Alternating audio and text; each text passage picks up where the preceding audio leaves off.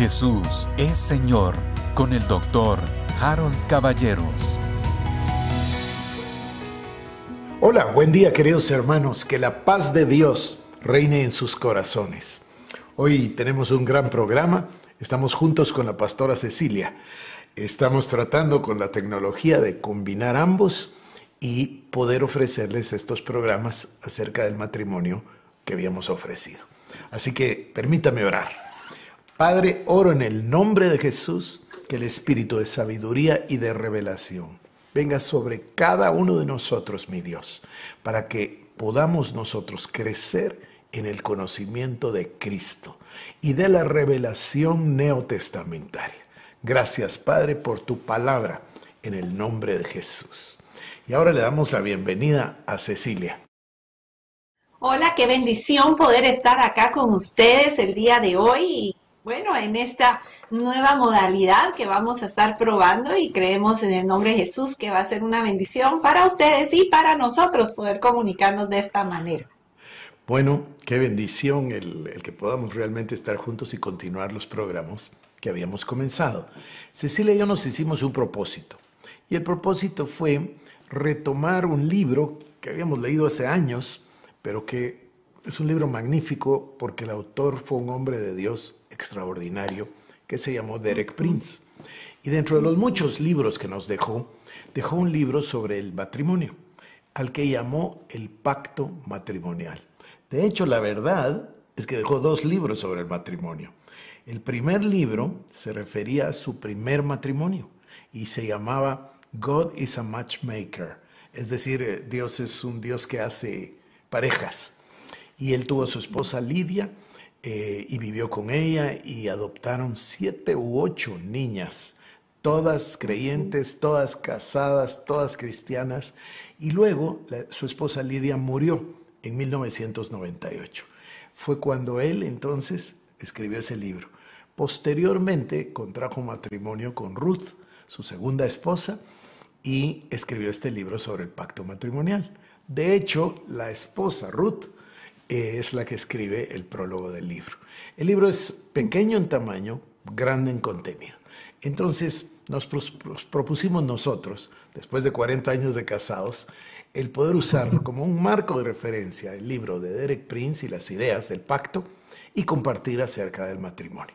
Así que, a ver, Ceci, yo quiero comentarte, no sé si te había platicado, pero cuando estaba leyendo este libro y cuando lo estaba leyendo era como que escuchara su voz. Es, me pareció tan curioso, tan impactante y, y me recordó muchísimo pues cuando lo leímos nosotros en su momento y cómo la verdad es que ahora es, es nuevo, ¿verdad? Es como que uno lo estuviera leyendo de, de primera vez porque es una bendición tan grande todo lo que él ahí comparte y cómo lo comparte y, bueno, pero me pareció tan curioso eso. Creo que nunca me había pasado el realmente estar leyendo un texto y estar como oyendo, porque él escribe como habla. Entonces es muy, muy particular. Bueno, acuérdate que Derek Prince en realidad era un maestro. Y no digo maestro solo de la palabra, sino que también un profesor. Él encontró a Cristo después de estudiar filosofía en la Universidad de Cambridge y no sé si la segunda fue Oxford, pero en las dos... Ah, no, no, no. Fue a la escuela Eton y luego fue a la Universidad de Cambridge. Y fue tan buen alumno que lo contrataron de profesor. Así que él en realidad eh, escribe como habla, tienes toda la razón, porque es siempre solo enseña y además con su tono de voz. Sí. Y además el acento inglés, ¿verdad? Sí, fantástico. Bueno, muy particular. Yo en el programa de ayer hacía mención a lo que entiendo que es verdaderamente el concepto fundamental del, libro del hermano Derek Prince o, o, de las ideas de Derek Prince, que al final pues son ideas 100% bíblicas. Él parte del concepto de que el Señor Jesucristo le dice a los judíos, a los fariseos, ustedes abandonaron el orden original. Yo los quiero regresar a ustedes a Génesis y recordarles que Dios dijo, por esto el hombre dejará a su padre y a su madre, se unirá a su mujer y serán una sola carne. De hecho, el, justamente el hecho de que haya sacado a Eva del costado de Adán te hace ver que Adán estaba incompleto hasta que encontró la ayuda idónea. Esto es una cosa que es una revelación, porque no es cualquier ayuda idónea. No te pueden poner la costilla de cualquier otra persona, tiene que ser exactamente la tuya. Es decir, Dios había hecho un plan perfecto para unir a dos personas. Luego, el concepto que a mí me conmueve, que me parece realmente lo importante, lo que mencioné ayer, es el concepto de esa palabra que es tan importante, fundamental en la Biblia, que es la palabra pacto. El concepto del pacto no existiría si no fuera por el amor de Dios. Dios Todopoderoso es el que nos concedió a nosotros un pacto. Pacto con Adán, pacto con Noé, por supuesto el pacto con Abraham y como lo dije ayer, ni mencionar el nuevo pacto. Él se enfrenta con los fariseos y empieza en, ese, en esa discusión que él tiene en el principio. Y esto nos lleva otra vez a este plan original en Génesis, donde vemos esto que tú estás diciendo, ¿verdad? Cómo Dios hizo que el matrimonio sea un pacto, un pacto y esa verdad.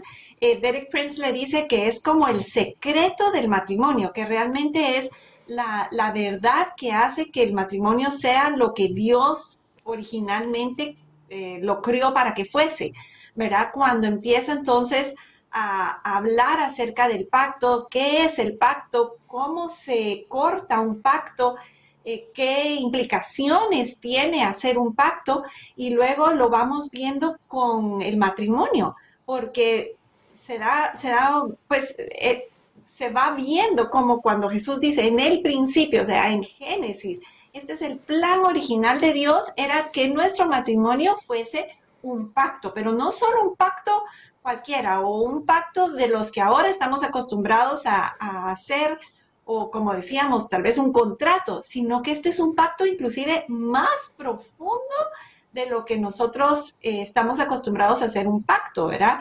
Un pacto que requiere un sacrificio. Cuando hablamos del pacto que el Señor nos enseña, cómo es un pacto en la Biblia, cómo Él hace ese pacto con Abraham. Ay, la verdad es que dan ganas de meterse más en detalle en ese pacto en sí, porque nos enseña tanto y tanto del matrimonio o de lo que podemos aprender cuando Jesús hablaba con los fariseos. Entonces, no sé si pudiéramos tomar un tiempo más acá, eh, Harold, para platicar acerca de, esto en detalle, en lo que, por ejemplo, en las enseñanzas que podemos sacar de lo que Jesús hablaba con los fariseos, para empezar. Sí, bueno, yo me comprometo a hacerlo. Ya mencionamos nosotros en su tiempo, hace más de un año, el tema del pacto de sangre, y yo creo que conviene mucho retomarlo. Ahora, yo quisiera resaltar dos ideas acerca del pacto pacto es lo más solemne que existe y apareja que es inquebrantable, irrompible. Entonces, fíjate cómo estás tú mencionando el tema de la cultura moderna. En la cultura moderna el, matrimonio se ha vuelto un contrato, no en los países latinoamericanos, pero en Estados Unidos es muy común que se hable de un prenup agreement. Es un convenio prenupcial donde si el hombre es muy rico, ella renuncia o hacen pactos. Me recuerdo yo uno de un personaje muy famoso, el expresidente Trump, que se casó con una señora que se llamaba Marla Naples, hicieron un prenup agreement y entonces ella recibía X cantidad de millones después de cinco años de estar casados. Bueno, pues se divorció a los cuatro años y once meses. Eso, eso es verdaderamente como despreciar, menospreciar, no sé qué palabra, eh, el concepto de pacto. Se vuelve un contrato, se vuelve una cosa moderna, eh, por supuesto para en divorcio, múltiples matrimonios, pero no tiene nada que ver con la Biblia. La palabra de Dios presenta el matrimonio con un pacto tan solemne como el pacto o la unión que hay entre la cabeza del cuerpo y el cuerpo. Por eso dice, grande es este misterio, pero yo digo esto de Cristo y de la iglesia. Me parece que sí. Vamos a estudiar el tema, el tema del pacto y además estamos felices de estar aquí juntos en el programa. Sí, la verdad que sí. Sí, sí, sí, sí, gracias a la tecnología. ¿Verdad? Sí, pero es, ah, no me deja de impactar porque es un estándar original, se podría decir, es completamente un estándar nuevo a, a- a lo que nosotros hemos, y más ahora, ¿verdad? La cultura nos está llevando a una cosa que sean cristianos o no sean cristianos, está la posibilidad siempre de, de separarse si no pasan, pues si no, si no pueden, si no pueden estar creo- eh, unidos. Pienso que la iglesia ha hecho un trabajo muy pobre. Mira, he estado leyendo unos autores, eh, me he enamorado de unos autores, casi todos son del siglo XIX. A partir de Wesley viene el movimiento de Whitfield y después viene el, movimiento de Spurgeon, el príncipe de los predicadores. Y después está Pearson y Gordon, que eran más o menos discípulos de él. Entonces les he estado leyendo. Y ellos me emocionan con sus ideas. Ellos esperaban que la iglesia educara a la sociedad. Incluso algunos dijeron, un seminario no es el lugar para aprender la Biblia. El lugar para aprender la Biblia es la iglesia. Pero la iglesia le pasó a las instituciones educativas como los seminarios, la responsabilidad. Le pasó a las escuelas, a los colegios cristianos. Antes, los niños en Estados Unidos aprendían a leer y escribir con la Biblia. Eso se fue quitando, se fue eliminando a Dios de la escuela, se fue eliminando a Dios de la sociedad. Pero entonces, lo que ellos pretendían es que la iglesia te enseñara que eres una nueva criatura, la nueva vida, el matrimonio, la familia, etc. Por supuesto que eso es imposible de domingo a domingo, con 52 mensajes al año que duran 40 minutos y que está comprobado que las personas escuchan con, con atención 26 minutos, entonces eh, no llegamos a ninguna parte. Cuando yo estudié la vida de Calvino y tú estabas conmigo en la capilla y en la catedral, él tomaba en la catedral el Nuevo Testamento pasaje por pasaje, capítulo por capítulo, libro por libro. Y durante la semana hacía el estudio bíblico en la capilla y tomaba el Antiguo Testamento, capítulo por capítulo, libro por libro. Los comentarios de Calvino están escritos, yo acá los tengo atrás de mí. Y solo un libro le faltó de comentar de toda la Biblia. Fue una vida dedicada al discipulado y a la enseñanza.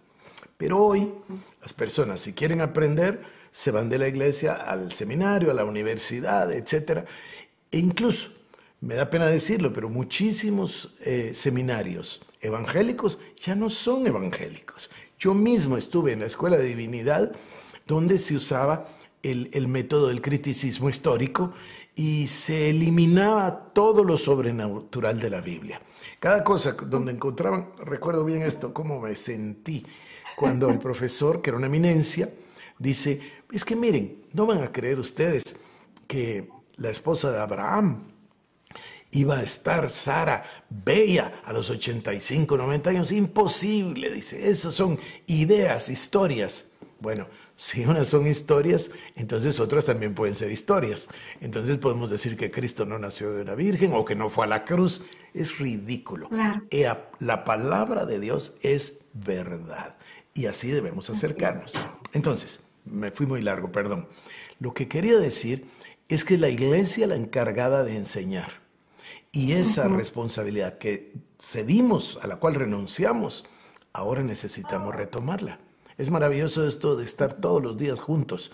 Yo espero pues que cada uno pueda tomar las enseñanzas y ponerlas en práctica, porque tendríamos matrimonios distintos si supiéramos perfectamente que es un pacto, para qué sirve, cómo, y, y la responsabilidad con los hijos y la responsabilidad con Dios por hacer un Así es. pacto. Porque sí queremos ser del cuerpo de Cristo, sí queremos ser de la Correcto. iglesia. Bueno, ahí hay un pacto similarísimo, así lo Correcto. dice el Señor. Correcto. Y, y es importante notar que no necesariamente cuando te cae el norte, digámoslo así, cuando te das cuenta de que es verdaderamente un pacto, que los problemas o las situaciones difíciles o las, las cosas que suceden en el matrimonio se den, simplemente es una forma, un entendimiento de saber que sabes, que sabes que se ha hecho un pacto y que el pacto es inquebrantable. Entonces, las posibles circunstancias que puedan venir al matrimonio, las diferencias de opinión o lo que sea que cause molestias, tiene que en algún momento encarrilarse o tiene que llegar a un se reciben de otra manera. Porque es así, o sea, un pacto es, un pacto. Yo no sé cómo explicar lo que traté de decir ayer. Si entendemos que es un pacto inquebrantable, solemne, y voy a añadir la palabra divino, entonces ya uno se acerca de una manera distinta. Y la actitud que genera es totalmente distinta. En ese sentido, vamos a tener las mismas pruebas, problemas, etcétera, que tienen todos, pero nuestra manera de verlo es distinta. A ver, voy a poner otro ejemplo, ojalá me salga bien. ¿Cuál es la meta que tenemos? ¿Cuál es la meta de los cristianos? La meta de los ah. creyentes es ir con Cristo por la eternidad, obtener la salvación, guardarla, apreciarla. Entonces, si esa es la meta, todo lo demás se organiza de acuerdo al fin, al objetivo, a la meta. Si, por el contrario, pensáramos eh, que la salvación es una cosa que, puede valer la pena, no puede valer la pena, entonces tendríamos unas vidas de cristianos que no son vidas de cristianos. Mire, ¿qué dice el apóstol Pablo?